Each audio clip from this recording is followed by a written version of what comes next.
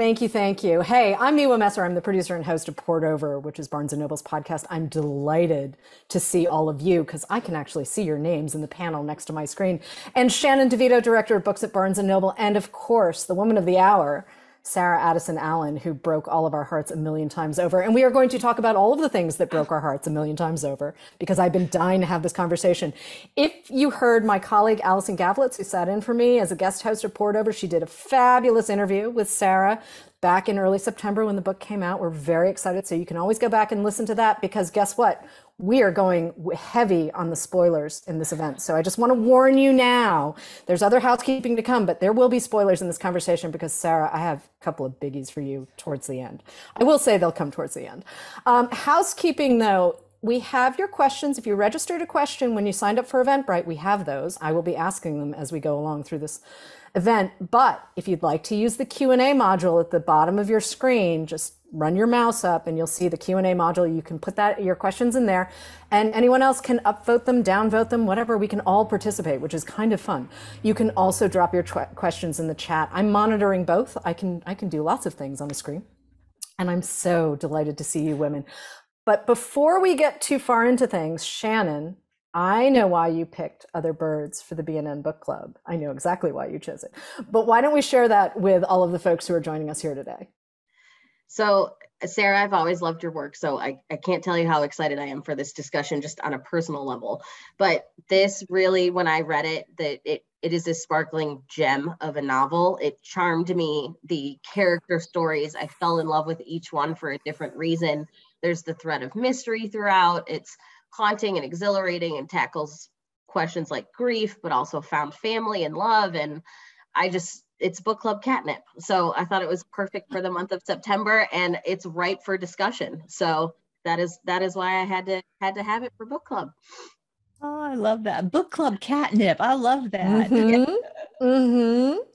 Okay, Sarah, let's talk about how this novel started for you. Let's just let's talk about the setting. Let's talk about this ca- I love this cast as much as Shannon does. But let's start with place because Mallow Island is as much a character in this book as your actual people.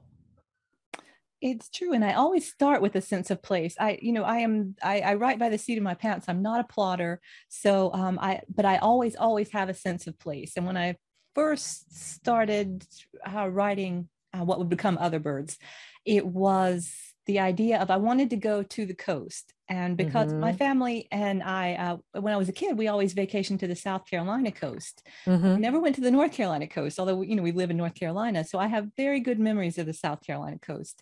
And so it, it started from there. I thought at first maybe I was going to uh, set it in Charleston. I was maybe going to make it my first book set in a real place, but I quickly nixed that idea because there's a certain veracity you have to ha- have when you you know when you're in a real place. And i like being able to make up my own rules in my in my own places. So that's how mallow island uh, mm-hmm. formed. Okay. And anastasia uh, who registered her question with eventbrite is wondering why the title other birds? Other birds. That came fairly late in the process. Um, i wrote the book under the title the truth in stories and that wasn't very catchy so i had to uh, and the process of coming up with a new title was you know hundreds and hundreds of titles trying to find what would work other birds was actually the name of um, okay in other birds there is mm. a there is a book called sweet mallow and it's written by a, by a character who is an author and it's his, mm-hmm. his famous book and um, there's a character called henry sparrow and his his name at first was Henry Otherbird because I thought it sounded like a very Flannery O'Connor kind of name. Mm-hmm, and I kept mm-hmm. going back to that Otherbird, Otherbird, but I couldn't have the book named after a fictional character within the fictional book. So I actually changed Henry Otherbird's name, took Otherbirds out of that context, and that was the title. And it ended up gelling a lot of truths in the book of mm-hmm. found family, of fitting in, you know, finding your flock, that kind of thing. And we will cover all of that, I promise you. Okay, so let's just set it up. We know everyone's read the book, but Zoe, our dear, lovely, lovely girl, Zoe. I love this kid. I really love this kid. And man, her dad, he needs a lesson in dadding. He is not a good dad. He's just not a good dad. But Zoe, now, did Zoe show up first? Or did Zoe show up as part of it? Because this really, the way your characters hang together in the narrative is so cohesive. I kind of feel like they all showed up at the same time.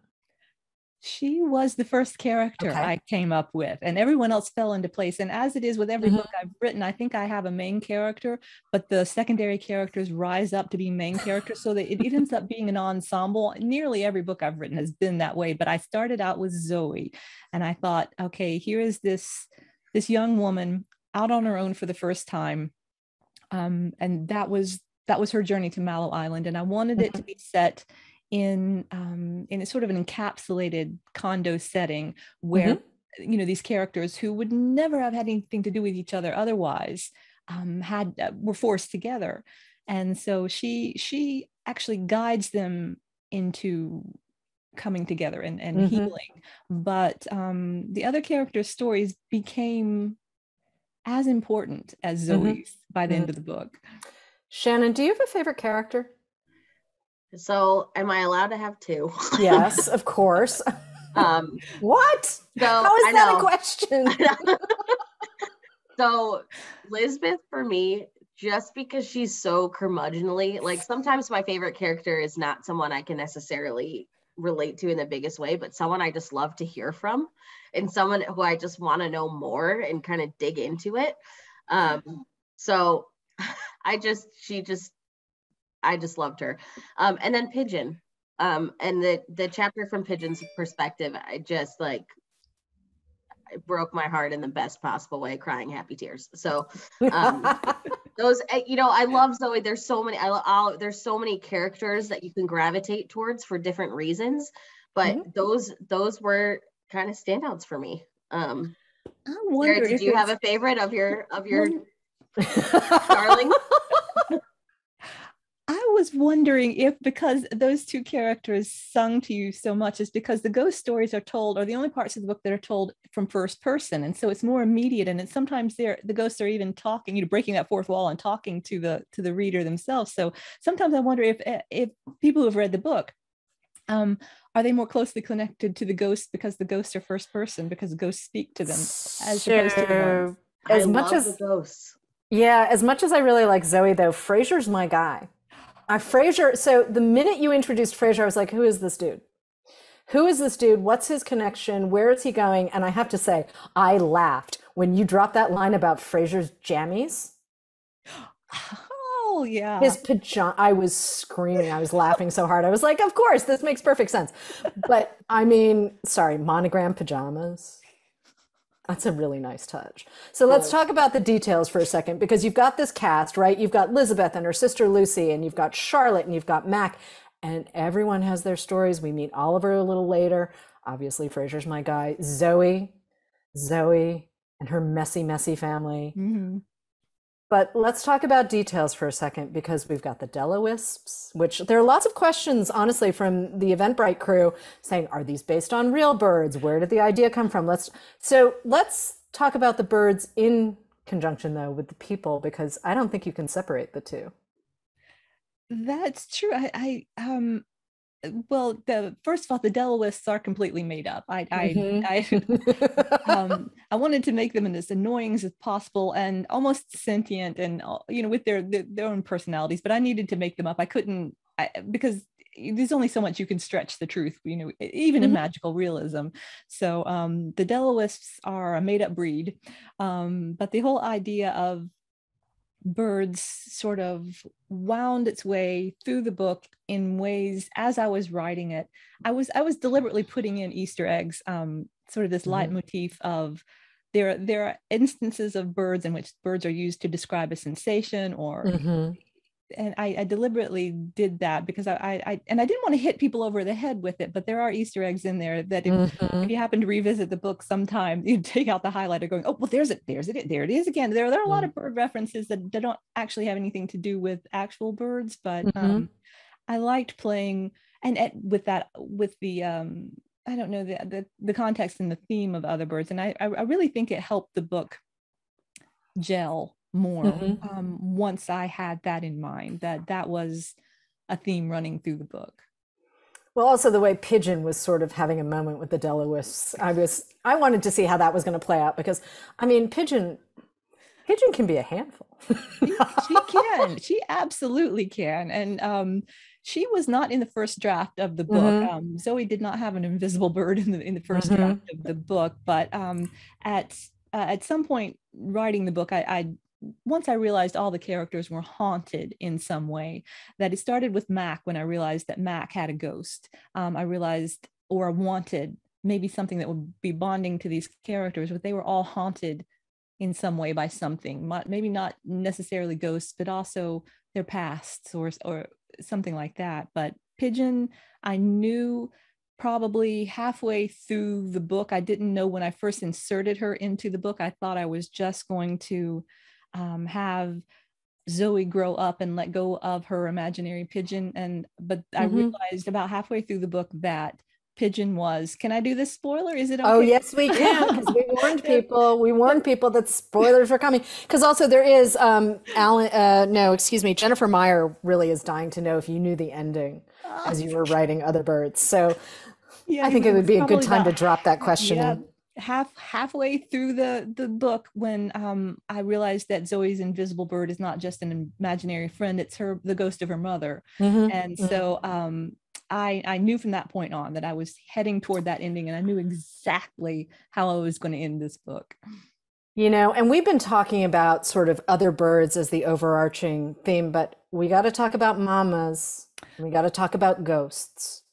Right. Because otherwise, we're missing out on the big beating heart of your book. I mean, and mm, we all have mamas. I happen to be very fond of mine. And Mamas and ghosts. Oh, Sarah, what have you done to our hearts, lady? what have you done? Let's talk about this for a second. You knew, I mean, there's also a little bit of personal backstory to this part of the book as well. So, can we? There are a couple of folks who are asking, sort of, hey, how did we get here? Right, right. Well, yeah, I, have um, I dedicate the book to my mom, and in, in the in the acknowledgments, um, I, I say how I, I I told her about this story and about um, Pigeon being um, this girl's mother who, who, stays with her after she dies, and and my mother who was not uh, who at the time was not very vo- verbal. Um, she had had uh, uh, some massive brain hemorrhages, and she she turned to me and said with surprising clarity, she said, "Oh, you have to write that." Mm-hmm. And so I finally did. I wrote this book before my mom got sick. Mm-hmm. My mom, um, I, there were about four years. My mom, I watched my mom die for about four years. It was pretty bad, and before 10 days before she died, my sister died. And so there was a whole bunch of trauma, bam, bam, bam. I set mm-hmm. aside this mm-hmm. book for a long time. I had started it, but then all this deep, dark stuff happened and I and I just couldn't write. I had no words. Mm-hmm. I, I it was it was it was difficult. But there came a time when I wanted to get back into it when, you know, as grief does, it lessens. It never, you know, truly goes away. Mm-hmm. But um, I found that even though the story is basically the same storyline, um, what I had started out with, it ended up with such emotion and meaning and depth that I would not have put in it if had all this dark stuff hadn't happened because it is about you know mother figures and mothers sticking around even after they pass away it's about what do you do when you lose people on how to let go how to move mm-hmm. on so it was it was it was a personal personal journey for me um, Patty Izayek, and I'm Patty, I hope I'm saying your last name properly. Um, she's asking specifically if your vision of the story changed when you went back to it it didn't in terms of uh, you know i had i had the idea of ghosts and i had the mm-hmm. idea of mm-hmm. um, a, a, lot of these characters most of these characters don't have great mother figures i i, I knew that from the beginning i think um, because i lost my mom during that time and came back to it after i'd lost my mom i think there's i think there's just a there's more it's more nuanced than it would have been um, but i but i I had the idea before my mom got sick and before my mom and sister died, but um, it's not the same book. It's the same structure. It's the same story, but it's not the same book I would have written before because I'm I'm not the same person. Mm-hmm. So here's my question for both of you, though: who believes in ghosts in for real and maybe you don't but i'm going to ask i don't mm-hmm. but i i i think that there's connection to people who have passed but i don't know if that means to me that's not a kind of more visceral which is the wrong word type of ghost person or ghost figure but there's there's something there.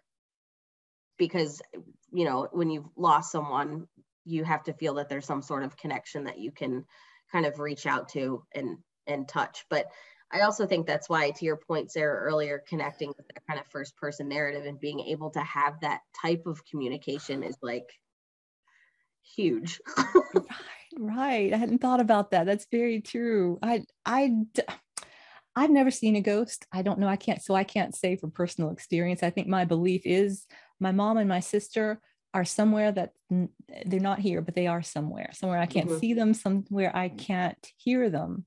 Um, I, you know, I don't even see sparkles out in the corner of my eye or smell their perfume. I've, I've never had that sensation. I can't even dream of them, but they're not here, but I know they're not gone. They're somewhere. And that, and I think that just boils down to the idea of everything I want to com- communicate in any book I've written is this sense of hope. And that sort of ties into that the hope of the hereafter, of seeing them again. I mean, I, I, that the end is not the end. Well, and I think ghosts are also stories. I mean, we connect with the people who came before us. Actually, my family has this incredibly ugly thing. It's so ugly, you guys. It's so ugly. It's like a, it's, I guess it's like a I don't even know how to describe it, but it's an it's a memorial thing from members of our family from like the 1700s and the 1800s, mm-hmm. and it has this weeping willow on it. And I make fun of my cousin because it lives in her house now, and I'm like, that creepy thing lives with you. Like, what is going on?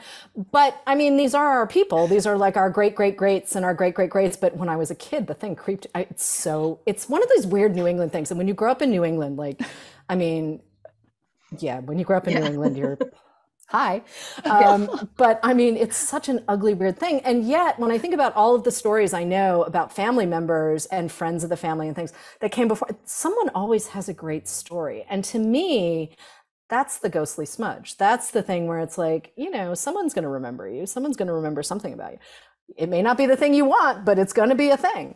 And I just, I love the idea, especially for Mac. Like Camille is dusting him with, you know, corn, uh, corn mm-hmm. flour, right. and it's because he can't let go. I mean, mm-hmm. we think, you know, a lot of the common sort of conventional wisdom is, I guess, the phrase I'm looking for about ghosts is they stick around because they've got unfinished business. And if you look certainly at Japanese and Chinese ghost mythology, like, yeah, they're sticking around, and you super do not want them to stick around. Mm-hmm. But in this case Camille's hanging out because Mac doesn't know how to let go and doesn't know how to move forward. And I thought that was a really beautiful touch. Yeah. I just, that was one of the nicest moments in the book where I'm like, yes, yeah, some of this is on us. Life doesn't just happen to us. We make choices, and sometimes we don't always make the best choices, you know.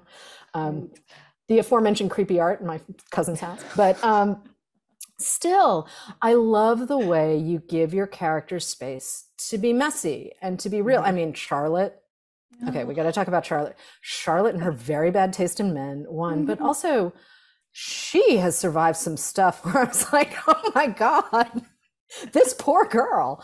I mean, but I get her. Ready to run? Yeah, that makes a ton of sense. So when did Charlotte really become Charlotte? And when did Mac become Mac? And, you know, Charlotte's haunted in ways that, well, Mac is too. It's just a different kind of haunting. That's right, exactly. Um, Charlotte's character formed as I was writing her.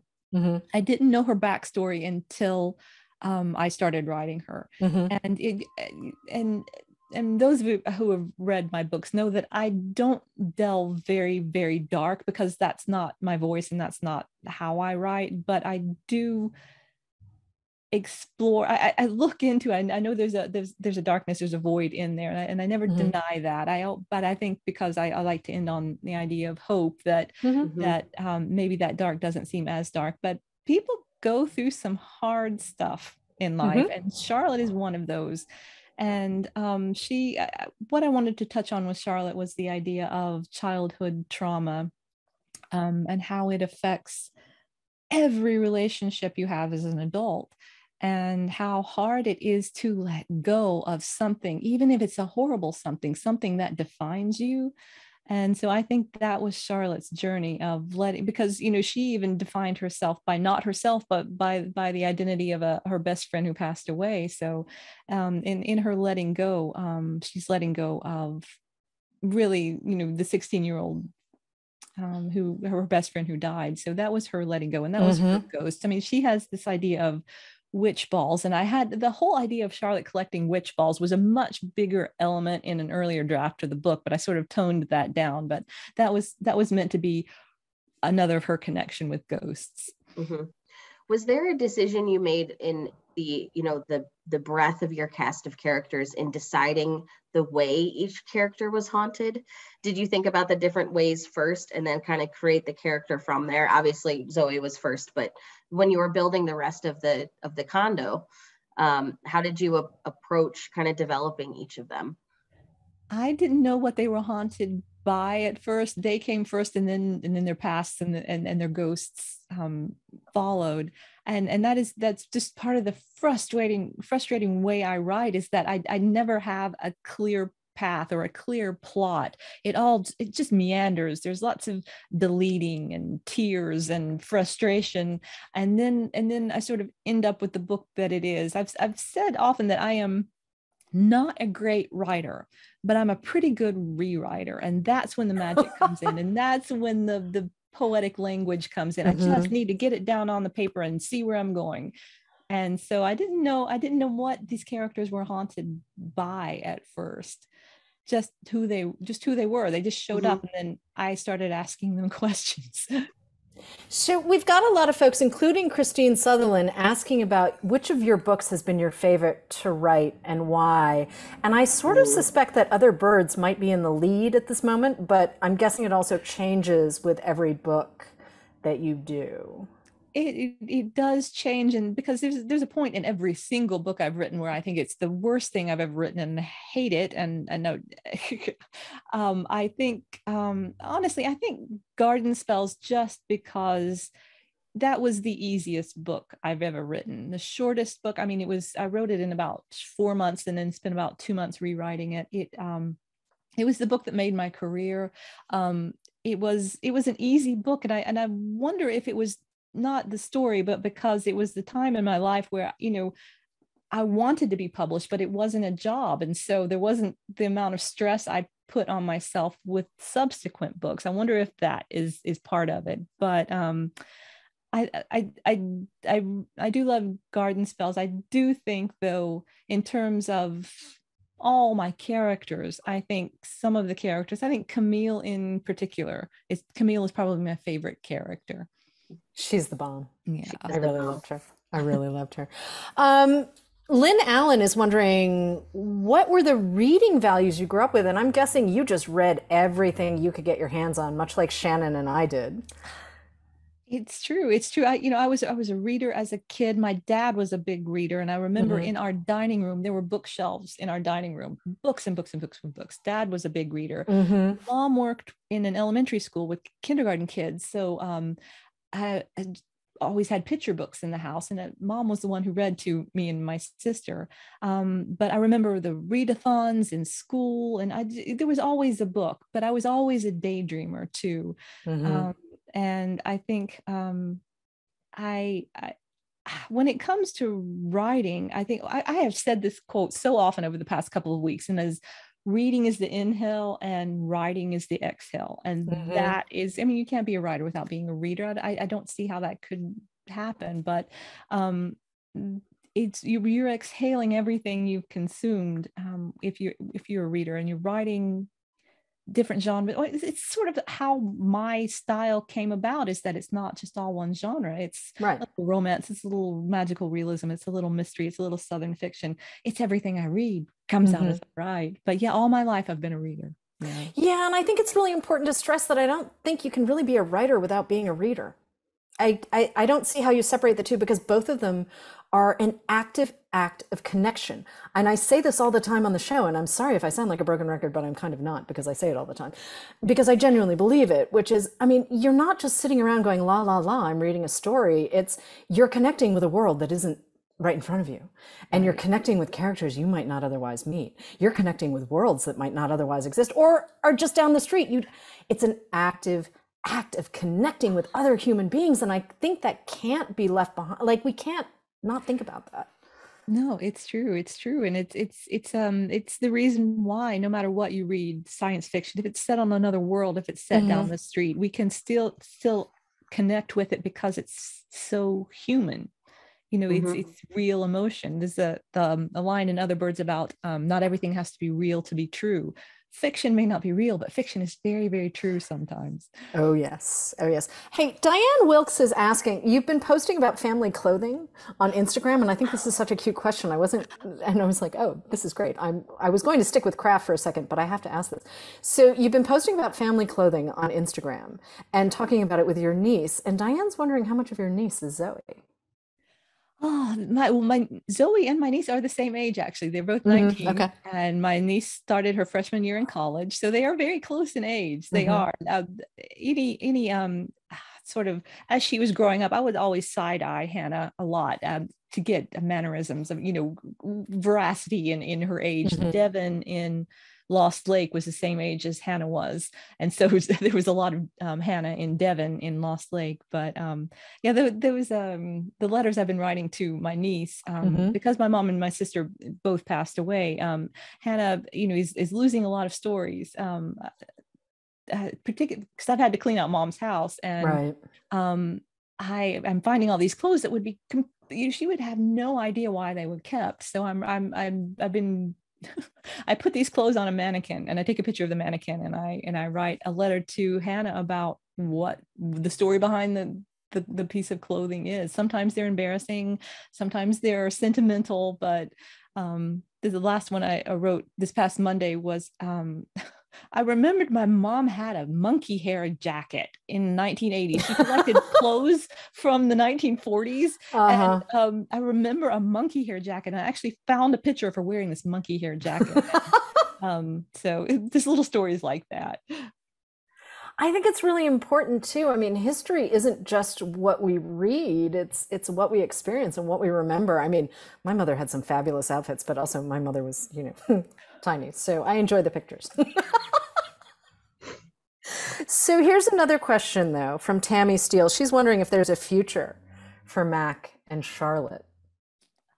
Yeah, I, I absolutely I, I know they end up together. They they mm-hmm. they went Yay. through a lot of grief and they they have they have they have done their time. They needed to find each other and they did. And so in my mind, you know, they it's not as if they live happily ever after because that's a mm-hmm. fallacy. They're they're mm-hmm. gonna have their troubles. I know that, but I see them together.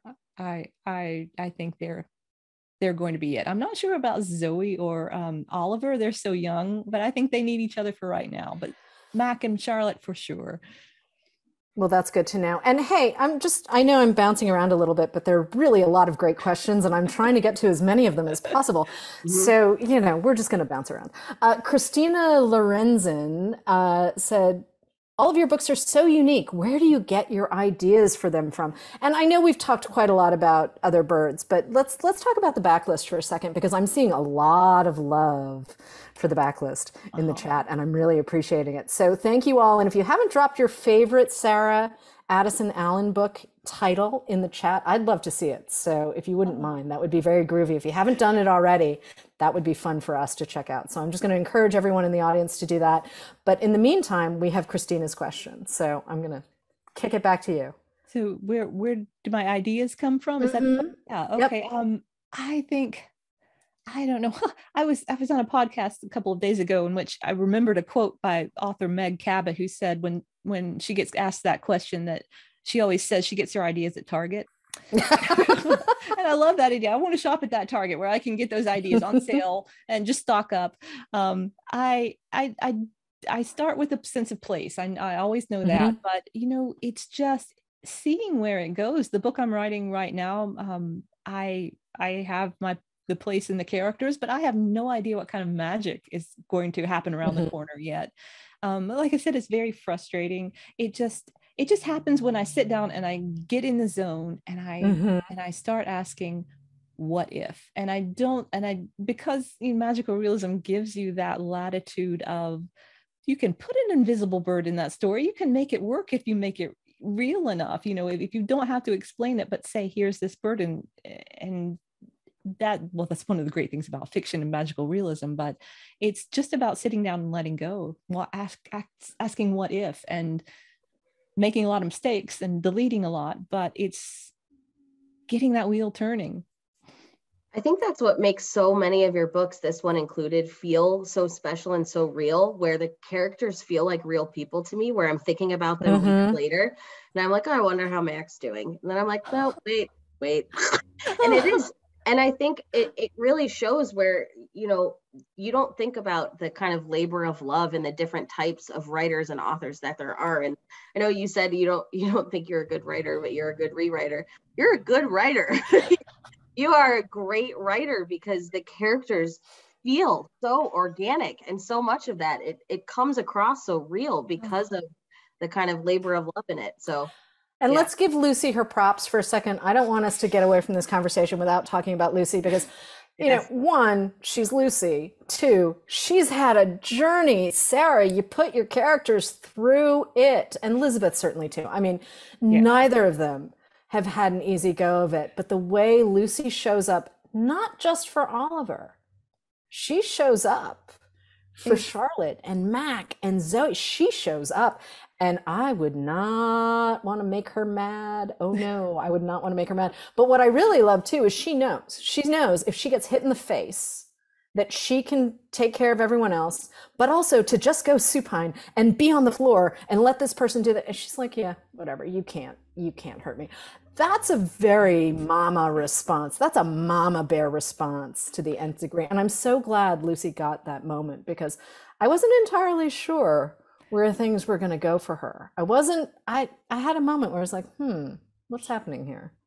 she there, there was um, a little easter egg dropped early in the in the story about um i can't remember which character said it said uh, that lucy was the boo radley of the Dellawisp oh yes and oh, so oh, yes. um, she was sort of uh, sort of what happened in to kill a mockingbird it mm-hmm. was um, lucy came and saved the day but she is this you know can't be out in the world kind of person she is um i think she she understands what damage is within her and she doesn't want to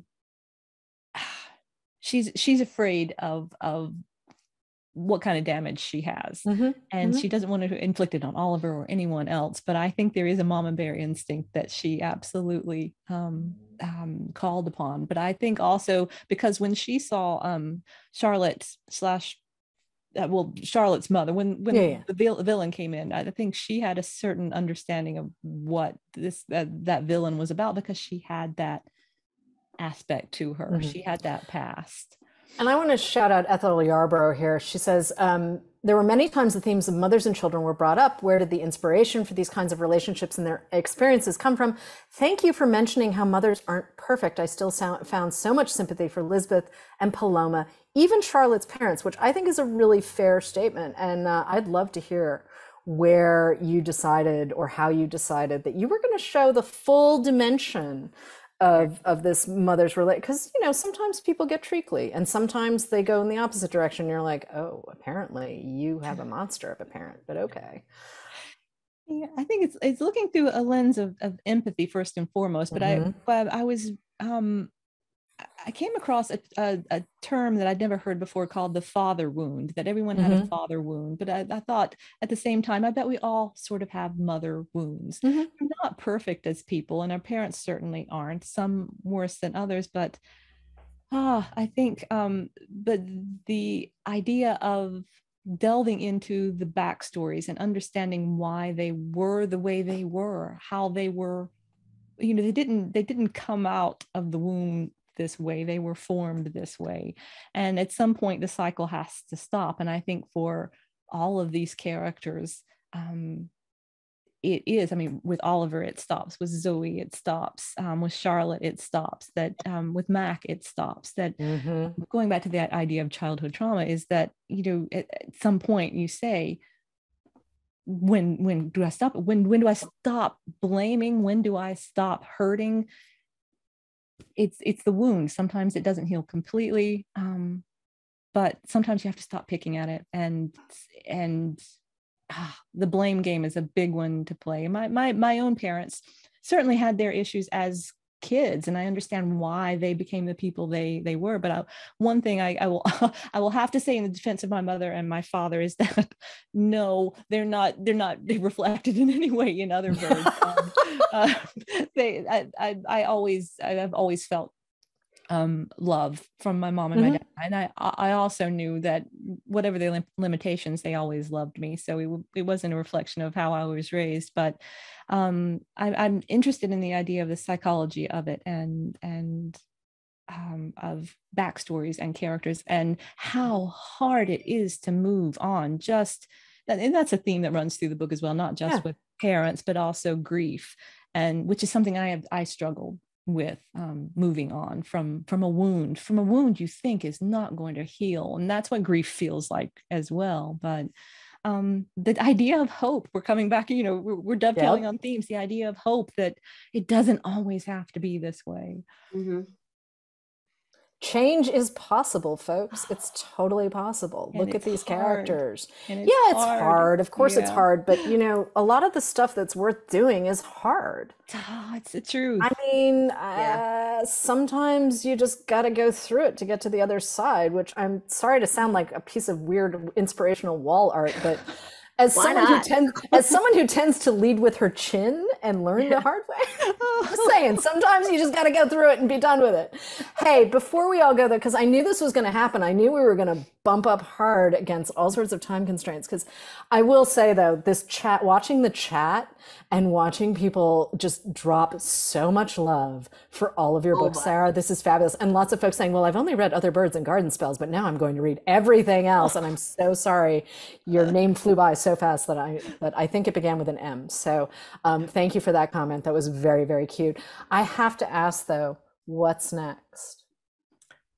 yeah, it feels good to get back into a sense of um, this is what normal is for me. You have a book that comes out mm-hmm. and you promote the book, and then you write a new book, and the new book comes out, and I I'm I'm writing it right now. Um, I'm I'm forgetting how stressful deadlines are, but um, um, but that's part of the process. Um, it is set in North Carolina, and um, it takes place. Uh, well, I've been calling the marker on my on my the file is named Buttertown because that's the name of the town.